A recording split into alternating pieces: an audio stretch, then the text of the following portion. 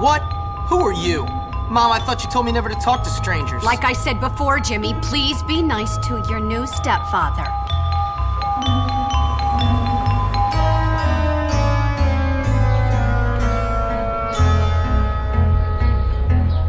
Okay, rich guy. I love it that you're twice as old as my grandfather and you're fat and bald. That's enough! I've had it with you, you little brat!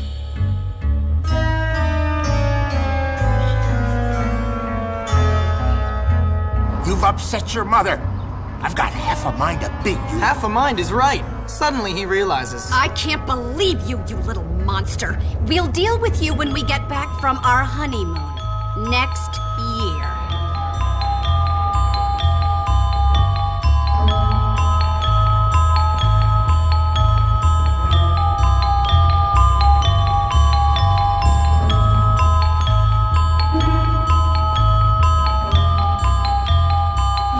We are, boy. Bullworth Academy.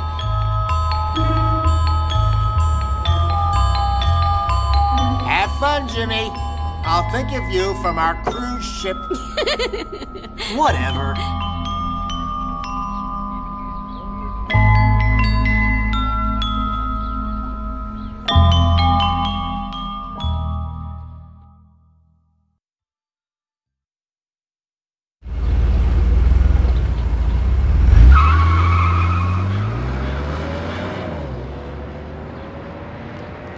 Mom, why'd you marry that phony? What is wrong with you? Ah, I can't believe this. You must be the Hopkins boy. Where'd you come from? We've been expecting you. Welcome to Bullworth Academy. Ah, I'm sure you'll be very happy here. Very happy indeed. Anyway, I can't spend my life waiting around for naughty little boys. I've got a man to make happy. The headmaster is expecting you, Hopkins, in his study. Okay. His study is over there, boy. In the main building. Don't keep Dr. Crabblesnitch waiting. He's a brilliant man. Brilliant.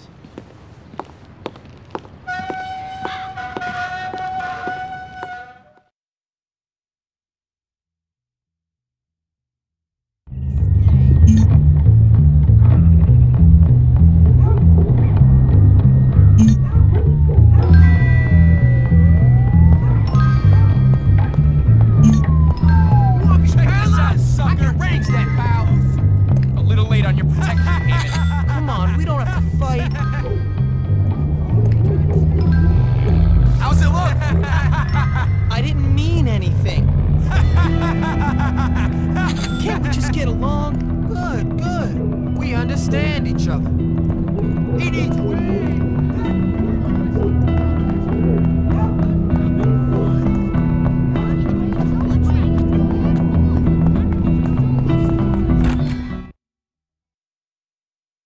think Dr. Watts is a real genius. I doubt you could stop me! Is it true? You have that! How about I go off on it? What did I ever do to you? You got cash. I need cash. I don't want any trouble. Good. That's the right way to do it. Yeah. Look at moron. I really want to drive a car. I don't like you. Hello there, ma'am. More tea for Dr. Crab. Ah, yes. So you must be Hopkins. Uh, Uh-huh. What? Uh-huh. What? I meant yes, sir. Very good. Now let me see.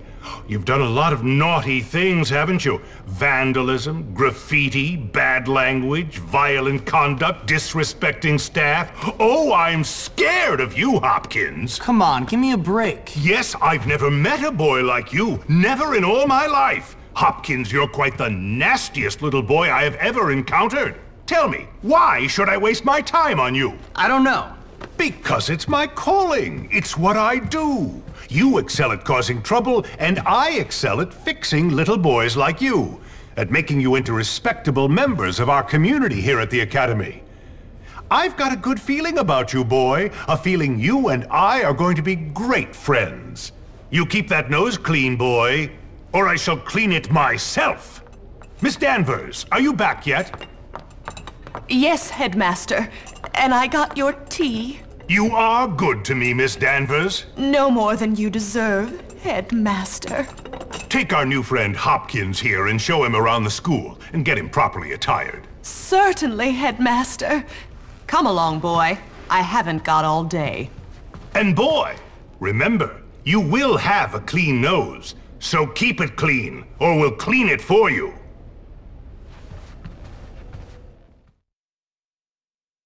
So here I am at probably the worst school in the country, whose alumni are nothing but arms dealers, serial killers, and corporate lawyers. Real scum. And that old creep thinks he can tame me? We shall see, my friend. I only give people what they have coming to them. Where's your uniform, young Hopkins? Run along now, child.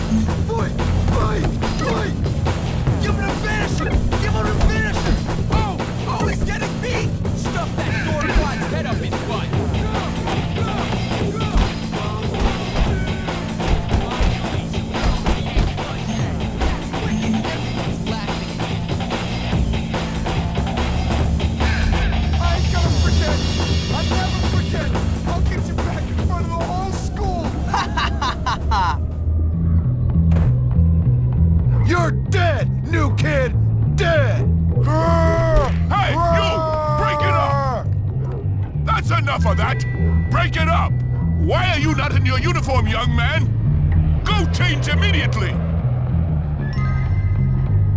Aw, come on.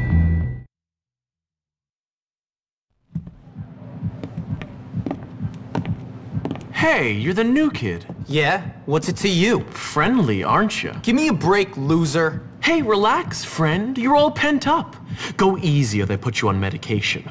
They did to me. Boy, nearly sent me insane. That's fascinating. Now if you'll I excuse me. I said relax, friend. Get off, man. Listen to me, tough guy. You just arrived at the toughest school in the country, and I'm offering to be your friend. Trust me, in a place like this, you're gonna need friends. So it's up to you. You gonna play nice or what? Yeah, sure. Good. So how about I show you around? We don't have a bar in the dorm, just a soda machine. Your move, Dillweed. Scared of you. You cool? Please let me off the hook.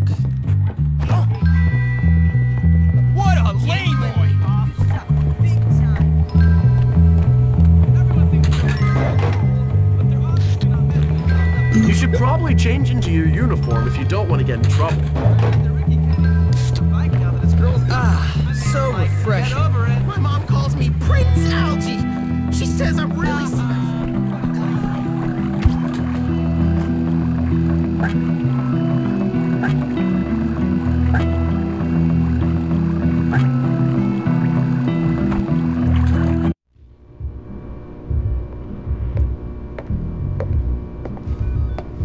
how you doing?